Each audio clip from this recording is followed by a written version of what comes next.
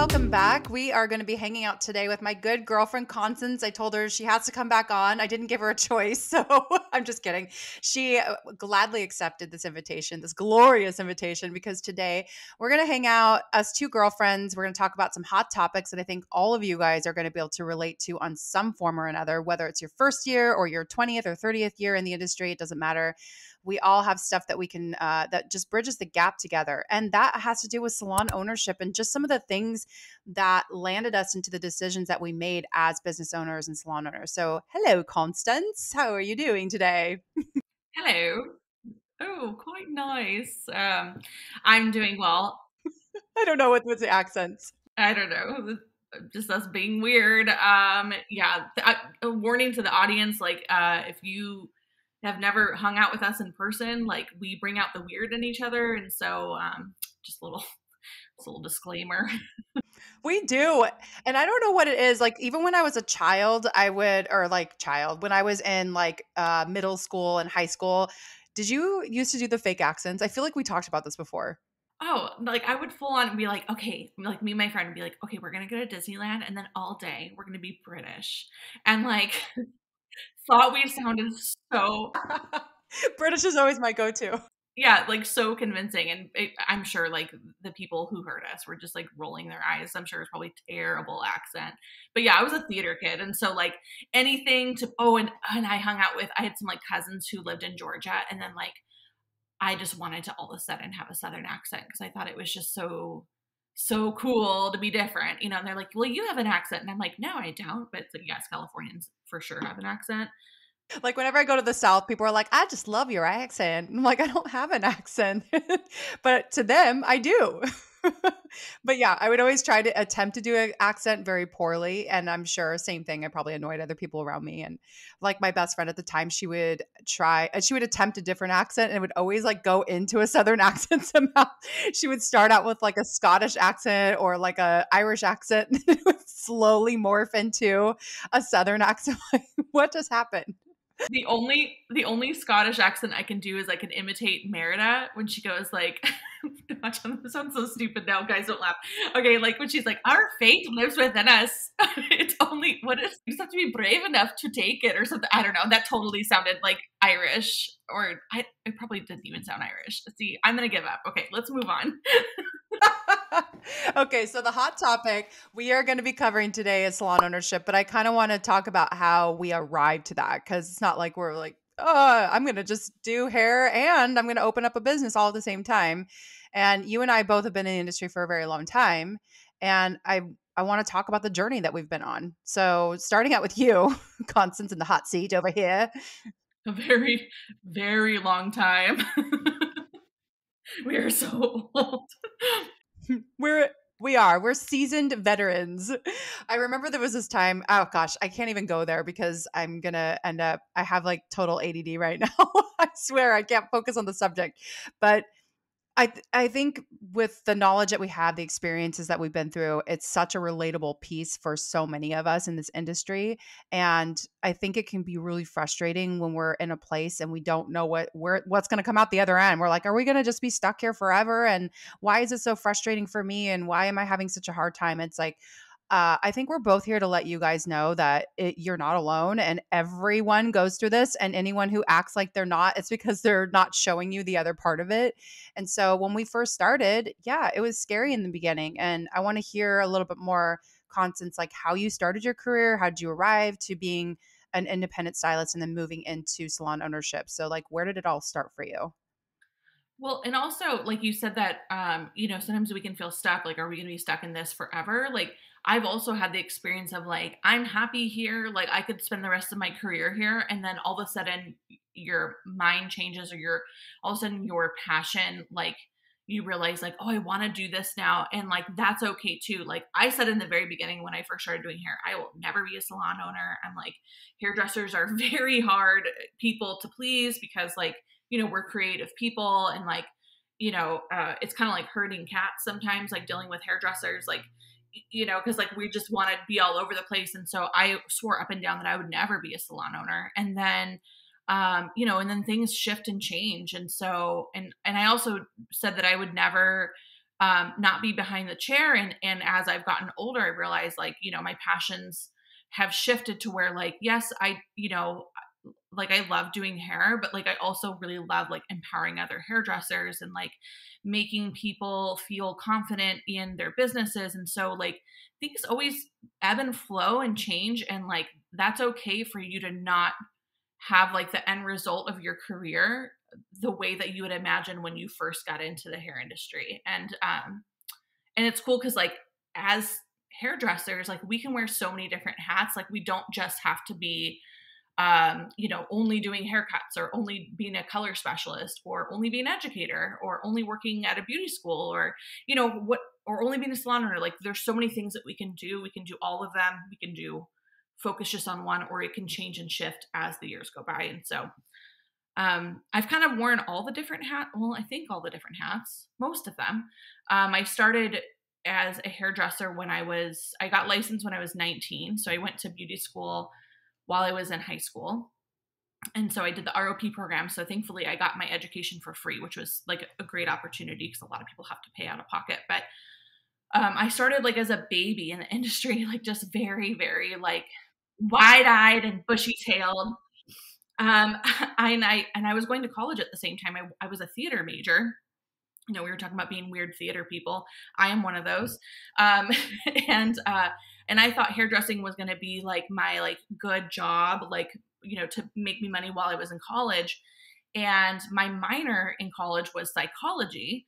And then as time went on and I was more exposed to the beauty industry, I realized that like theater and hairdressing are kind of kind of similar. You know, if you've ever been to a hair show, you've seen people on stage, they very much are like kind of like rock stars.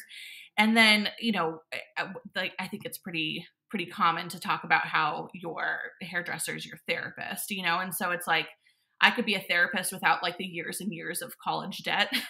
so I was like, oh, this is really cool. And so I put my focus into that. And I, I started a salon as a commission stylist.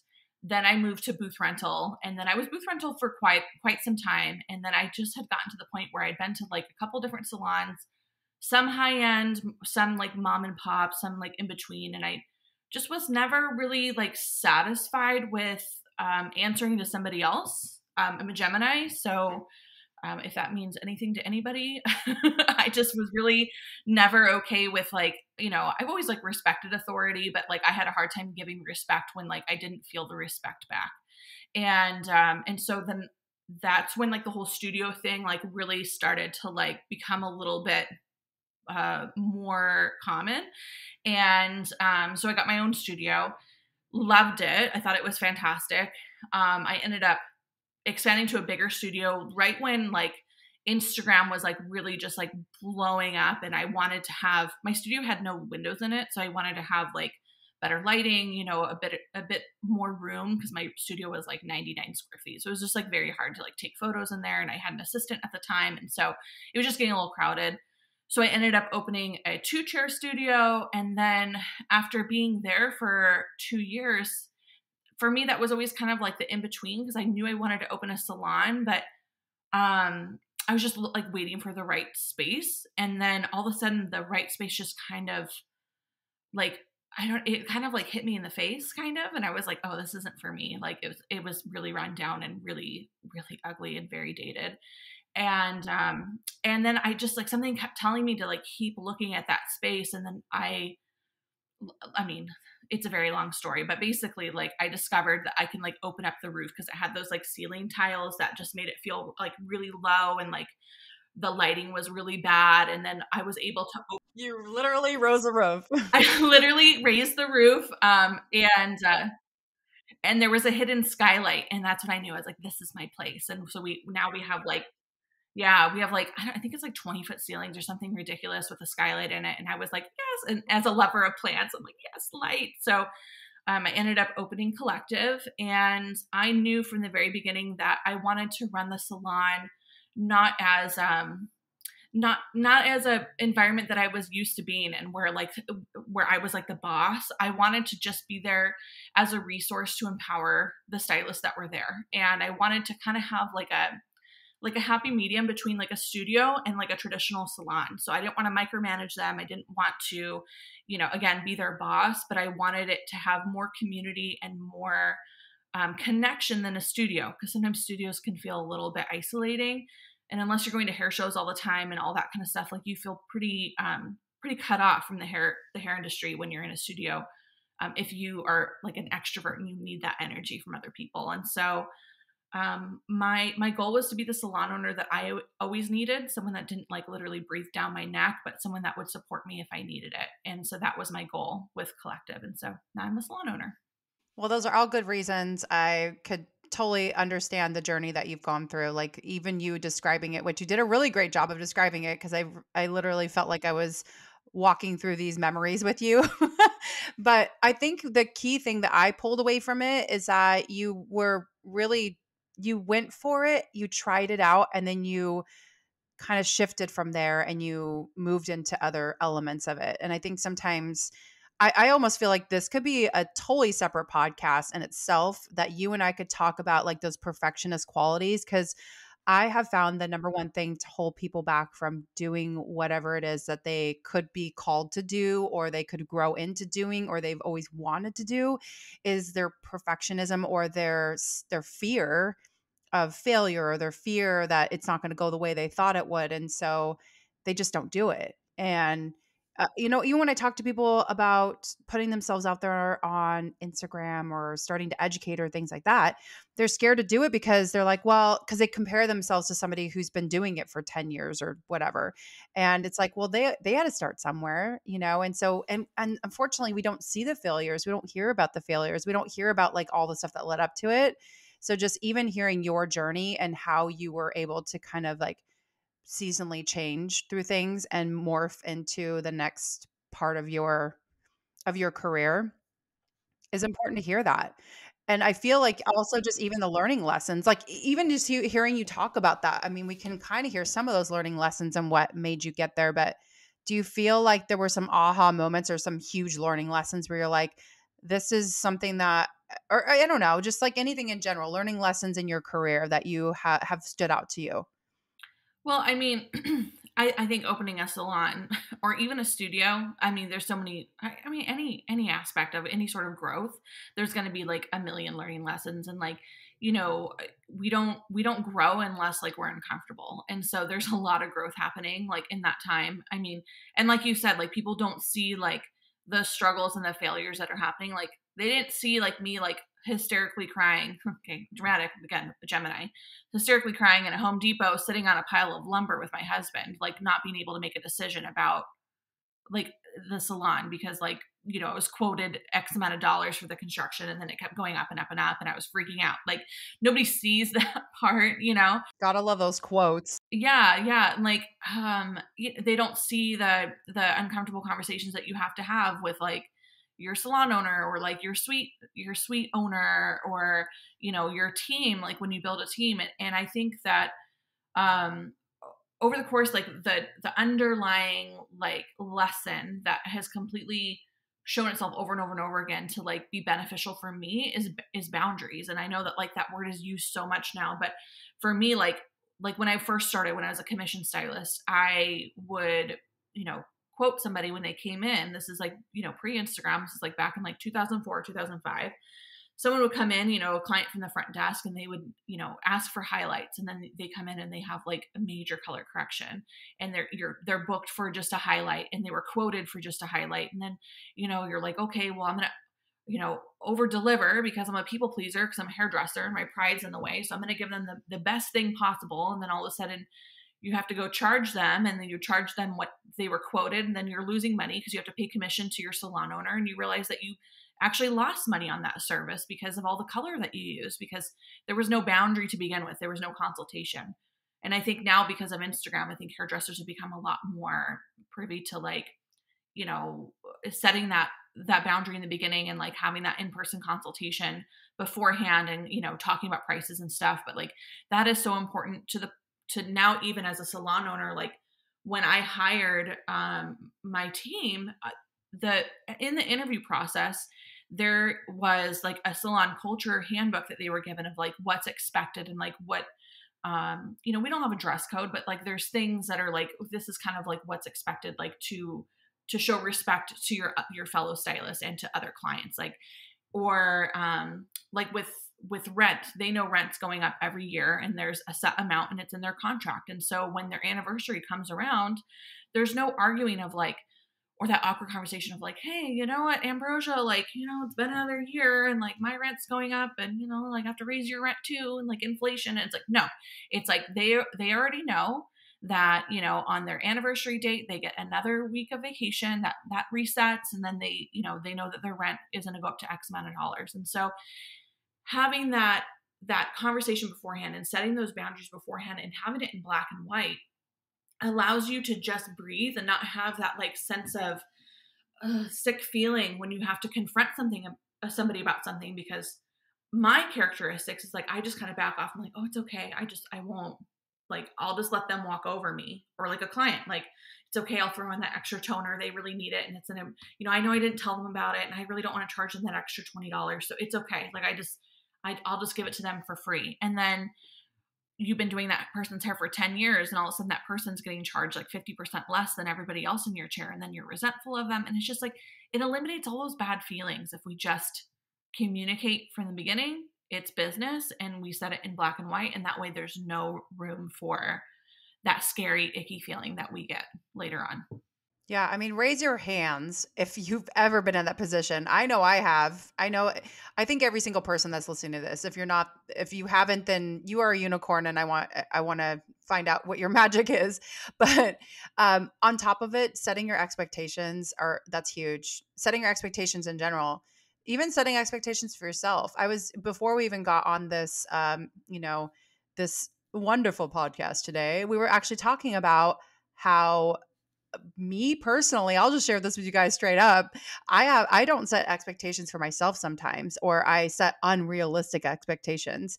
I am very thorough with the notes that i take for the um, my goals sheet and my list and i have like this whole like i love organization and i like to have everything out in black and white so that i can get a better snapshot of what what's going to be most important to finish on my task list.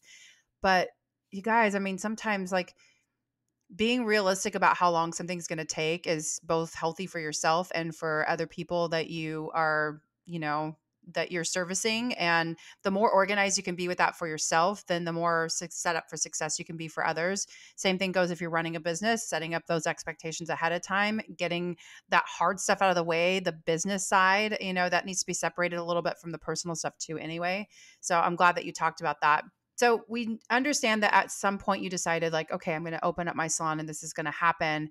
And we've we've also talked about this extensively at what point like when you're like okay i want to open up my salon and this is what i want to look like because there's so many different models that we want that could happen in our industry and i feel like that's probably the biggest thing that's ever changed is that there's no really set way in running that business there's so many different ways that we can run a business now um, and there's so many different ways to get in, in or there's so many different ways of getting revenue or income streams coming in as well. What made you decide how you wanted to run your salon specifically? Um it was kind of a combination of like what i wish existed for me like what i like if i could build a salon to work at what i would want from a salon owner and then also like realistically looking at my life and the and the time that i have and the time that i want to spend on my business. Because at the time when I opened when I opened my salon, I was traveling a ton, doing a ton of education with I work for Matrix, so traveling all around with them and even doing like photo shoots and like, you know, partnerships like with my friends like Ambrosia, like doing photo shoots and stuff like that. And I knew that like having to be in my business and running it and, you know, having employees was just like number one not realistic with the schedule that I had and then also not not something that like made me feel good. Like I didn't want to micromanage. Like it just wasn't something I was interested in. And, you know, baby hairdresser Constance would always said, like, I never want to manage hairdressers. And that still rang true, even though I became a salon owner. So I looked for stylists that were independent, like awesome, strong, you know, bosses, you know, that could could run their own business that like basically would be the kind of people that would have a studio but we're looking for more community Um, and and I am there for them, like for business coaching or social media coaching, or even for formulas. Sometimes I'll get a text like, "Hey, I'm doing a redhead. Like, I'm thinking of using this. Like, what do you think?" You know, and it's like I am, you know, like 100% so happy when they reach out to me like that. But I didn't want to be like talking with, you know, uh, like a a commission stylist and and walking them through like how to do a highlight from scratch. Like i tried that with my assistant and and it was great. It was really nice to to mentor somebody but it's so it's so involved. It's like you it, i mean it really takes so much energy and time to put into another human like that and i knew that i just didn't have the capacity for that. And now being a new mom i definitely don't have the time for that and so i'm really grateful that this was the model that i had set up because at the time i wasn't even thinking about becoming a mom yet and so it was really good that like I hadn't like I don't need to be in my business, you know, you know, all the time to um because they're they're freaking badasses. Like they know what they're doing and they're like really really good at hair and they're really good at running their business. And so I think you have to objectively look at yourself and like I think sometimes we can be a little bit of overachievers and think like, "Oh, I can do that. I can do everything. Like I can I can have, you know, my independent uh, education and I can be in the salon full time and I can coach people and I can, you know, have 30 employees and I don't need to hire anybody else to help me and they think they can do all this stuff and it's like and then you end up being burnt out and then I think that's where a lot of these salon owners that are um like they're the type of salon that I was leaving to be independent like that I think is the salon owners were just burnt out they just were trying to do everything. And um and they just weren't happy. And so, um, yeah, you just kind of have to have like a real, like a real conversation with yourself and see like what you want to do. And there are people out there who are like really good with that. Like you were one of them, like really good with numbers, really good with sp- spreadsheets and like, um, like just so like organized in that way. And I'm just not that person. And so like, I think you just have to, you know, you have to be honest with yourself, like what, what you want your life to look at, look like and if you want a salon like that, that's fine. But you like, and you're not, and if you're like me, you're like not good at that kind of stuff, you gotta be okay with hiring somebody because like, like you can't be good at everything, you know? I mean, you are, but I'm not. I'm not good at everything, but I think one of the biggest things to kind of keep in mind for you listeners that are listening in right now, um, whether you own a salon already or you're thinking of owning a salon or or you're like Constance's journey who says, I never want to own a salon. And then someday you're like, oh, just kidding. I digress. Like the, sometimes you can't shift. It's okay. Like it's totally fine. If I, I even said the same thing. I was like, nope, not interested in owning a salon. But it's an extension of your culture. And so the the more you understand your culture and just the modality of how you move through your business and what you want, you are going to attract those kind of people as well.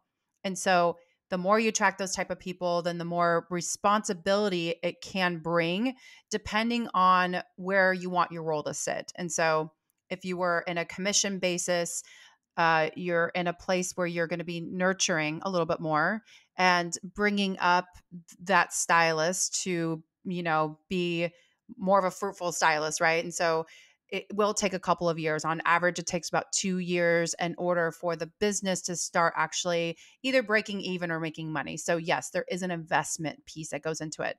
But oftentimes, statistically, they there are deeper roots with that too. So the investment happens on both ends and eventually it could become an exit strategy for the salon owner if they were to either want to sell it or if they wanted to turn it into an S corp and offer profit sharing options to stylists. So that's where it kind of becomes a little bit more, I guess you can make it a more robust business in in a sense. Same thing could happen though if you had a a, a salon where you're doing booth rental as well, because you could eventually sell that business to somebody if you had like a good profit and loss sheet that you can show to them. And it could be something too, like with Constance is saying, if you want to get into education, if you want to go travel, if you want to do uh, stage work, platform work, then being able to do that and do it effectively and run a salon at the same time, you got to make sure that your salon platform is going to be sustainable if you're not in it. And if you're not, if it, if it isn't and it crumbles or not crumbles. That's a little dramatic. Just staying on theme with the whole drama theme. But, it, you know, if you're not there for like, let's say two or three weeks and, you know, somebody is waiting on an answer and you're not there for them or you're not in the salon to be there for them and you need to be there to nurture that environment, then that can make your business unstable. And if realistically you can't be there all the time, then having a different type of business model, walking in with it, just knowing like, okay, this is what I want to start with. You can always change it too. It can always like grow and build. And that's what's the best part about business is that it's not as black and white as I think sometimes people think it is. But um anyway, so that was good advice. I like that. I feel like you spoke to a lot of people who, you know, they want to have options and they still want to have the responsibility of nurturing an environment that feels you know like an extension of them and you're bringing people in that are like have them they they share that importance for the same culture which is you know i think it's sometimes people don't think about those things honestly. Like when I talk to some stylists. Well, and I think also people think that like, oh, I've been doing hair for X amount of years, so it's like my next step is logically to own a salon. Like they think that that's like the end all, like like the retirement of like the hair industry. Oh my god, thank you for saying that. Yes, yeah. Talk more about that. And it's first of all, first of all, it's not because like it's being like I always thought like being a salon owner was like easy peasy, right? Like like you're just like oh yeah, I just go in and do a couple clients and then like I just, you know, people just pay me money and like I get all the money. But it's like, first of all, like salon owners don't make like they're not rolling in the dough, first of all, unless like you have like a massive salon several locations and like you have like this machine like running and like you kind of have to be okay with oh, sorry you can hear baby crying sorry. Um you have to be like I don't know, like okay, like I don't want to say cutthroat because like I don't want to say like these successful salon owners are all cutthroat, but like some are. Um and also like like you have to invest like like I mean hundreds upon hundreds of thousands of dollars into your salon to be able to like be getting that return on investment. So it's not always the case of like that's like your like retirement plan or whatever because it's just like it is a lot of work um to to have a salon that's like breaking in the dough like my salon again like it's very like very self-sufficient like doesn't mean that i'm not in, involved but i'm much less involved than like a traditional salon owner. Um but like the end all is it's like it doesn't make you a successful stylist if you are a salon owner. And just because you're a really good stylist doesn't mean that you'll make a good salon owner also. Um, and also the end all isn't always having a studio either. Like some people just don't like there's a lot of stuff involved in having a studio that people don't like they're like oh yeah like i have to like buy my own back bar and i have to like do my own towels. Like that's not a big deal. Like i do towels in my salon but they don't realize that like if you don't do your towels nobody else will do the towels. And then you can go in and have nothing but like wet gross towels and then be screwed you know or be okay with like spending the money on a towel service which is what i did because i just like i knew i knew my personality. I was like i'll just pay someone. And um and like same with like your back bar and like your color and stuff like that like there were there were times that like i ran out of color and i would go studio to studio and be like hi do you have 506n and they would be like no i don't use matrix i'm you know, do you have 506N? They're like, well, I have I have 508 and then I have like 6RR. And I'm like, oh, I'll, I'll try to make it work, you know? And like, you just, you can't just like, it, it's a lot different than having the community of, of an, a full salon. And, um, and while it's like really cool to have like that one-on-one where you can have like your own conversations in your studio, like if if there's like a conflict or if there's like a, a client that's like weird or like awkward like you're stuck with that person for like two three four hours and like you're like oh, i'll be right back. I'm gonna go to the break room and like you know wash towels even though you don't even wash your own towels and you like just try to escape them you know?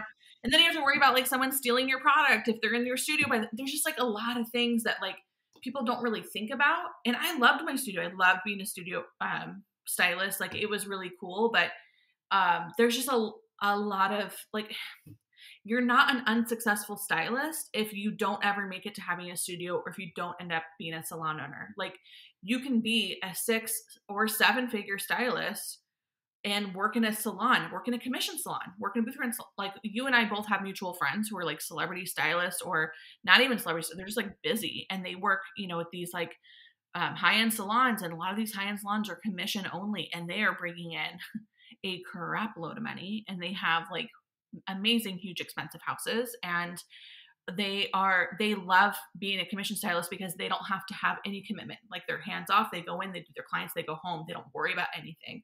And so you just really have to figure out like what is best for you and your personality and your own business and not, one is not better than the other. And and even like um like chain chain salons i've been in you know because i educate in all different types of environments like from schools all the way to like the most high end salons and uh, i hear a lot of chain salon stylists say like you know like oh i want to do this or that and it's like i've seen people kill it in these in these chain salons and make just like a ton of money and have the backup and support and education from from a company like Ulta or company like uh, like JC Penney where they have that support and so it really is like that our industry is so like there's so many facets and so many options that like like you, you just have to you know figure out what what you like the best and then what what's gonna allow you to flourish? It's whether or not you want to manage it yourself or if you want to have like a, a team that's managing different responsibilities because that's where management 101 you can always like you know uh, give other people responsibilities and let them flourish in that. But uh, the main thing is like what constance was saying in the very beginning and, and just earlier like the main part of this that I think Constance and I are both trying to to press on you today is that if you're really good at doing hair, it doesn't mean that you need to open up a business and do that because those are two separate skill sets. Running a business is way, way different, and running a successful business is a totally different part of your brain, even than running a successful chair and servicing your clients. So, and I just to be fully transparent, I made more money when I worked behind a chair for another salon than I do as a salon owner. Now, the reason why I made that move is because I was ready for different types of responsibilities. Um, I wasn't passionate about working five days a week. Well, actually, it was four days a week. Sorry. I wasn't passionate about working four days behind the chair. I exhausted kind of the resources. I, I got to a place where I was like, I feel there was something pulling me and I, I had more responsibilities that were calling me that I wanted to be a part of. And salon ownership for me just was, it was a natural step. It was something that I met somebody at the right time and it had the right feeling. And I just decided this is calling to me. And so eh, don't feel like this pressure that you have to do it or a lot of times when I'm coaching people, they want to do it because they think they're going to make more money. And I promise you, it's not in the beginning. It's kind of like when you buy a house. when you buy a house, it costs a lot of money up front.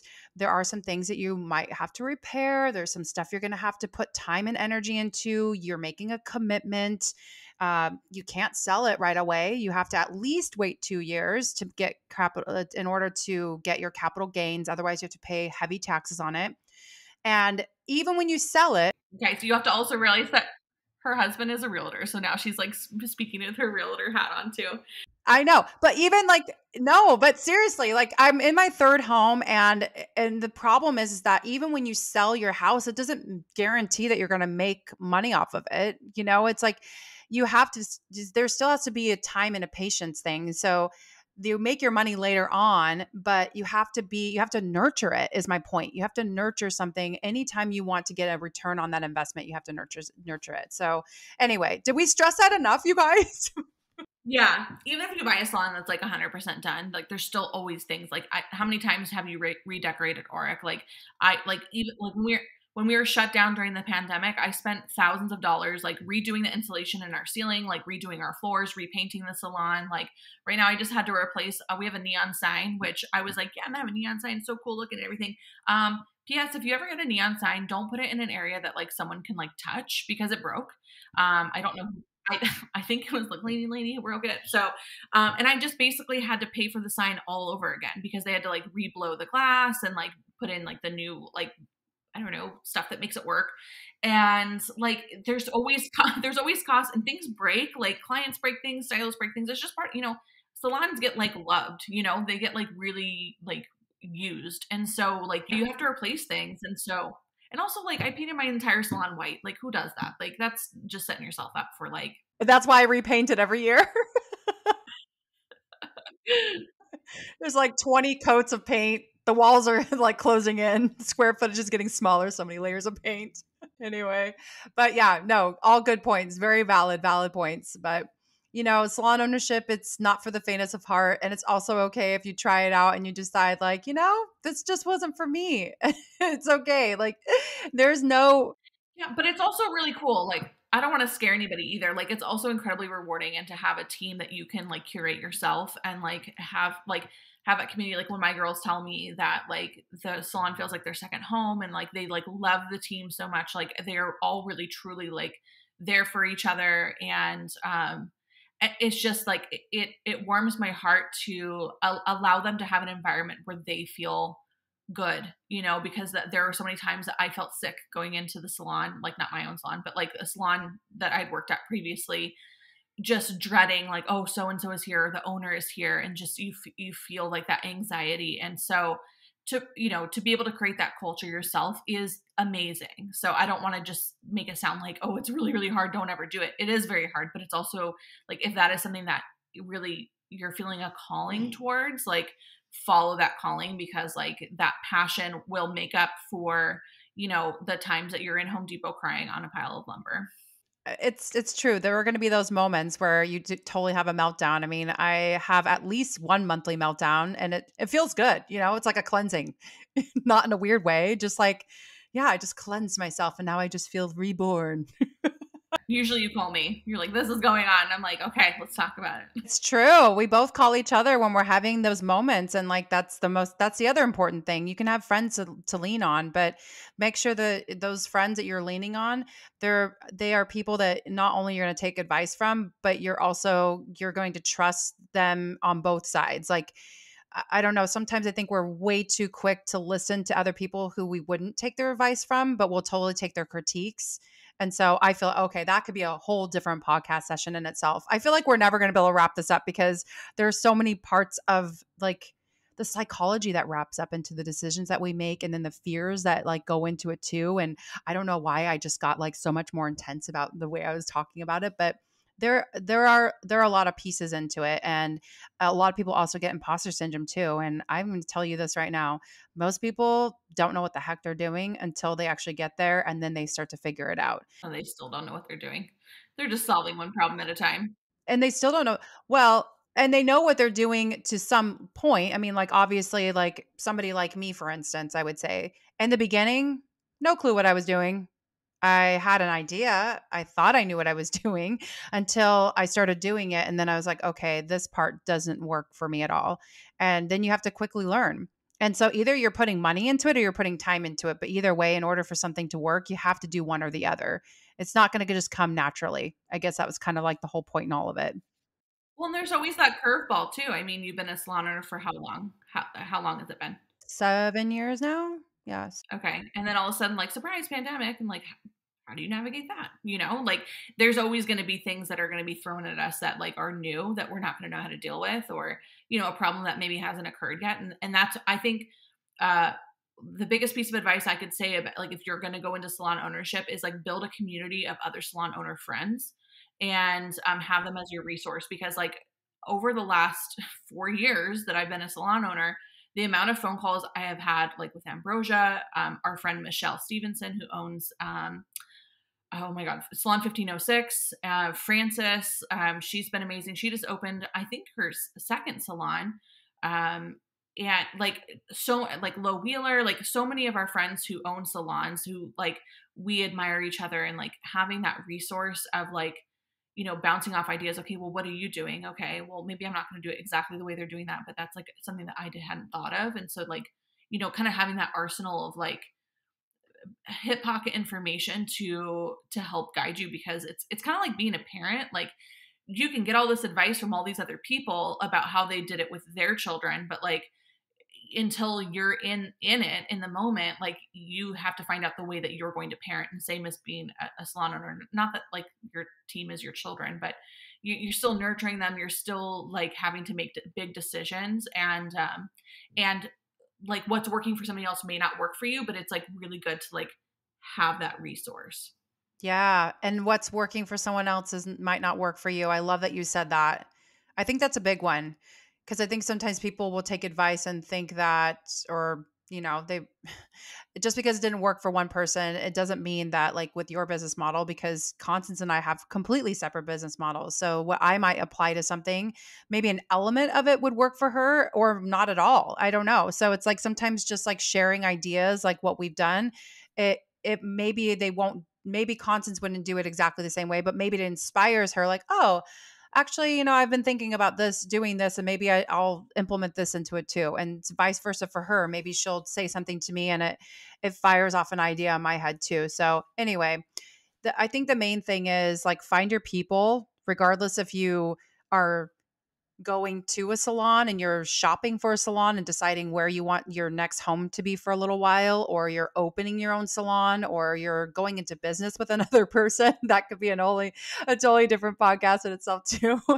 But regardless find your people and lean into them a little bit more and trust the process and yeah, even though salon ownership is not for everyone, it can be gratifying in in a lot of ways, but it can also be really hard. And it, it is a commitment. Like you just stick with it and just see what happens. And I always have a rule for one year. Like if you give something one year and see how you feel at the end of it, and if you feel like you're resenting it, then maybe it's time to to pivot. You know, I hate using that word, but maybe it's time to shift or transfer into something else too. Why do you hate it? Because of friends? Pivot. But pivot because probably because I heard it so many times. I'm just like, oh, there's that word again. There's that word again.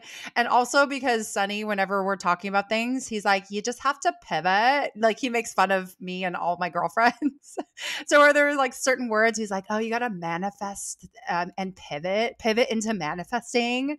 like, You're like, what would happen in Middle Earth? I know. I'm like, just go watch your Lord of the Rings. also, P.S. When you guys heard my baby crying earlier, there is somebody who is with him. My husband is with him, so he's not just like in the other rooms.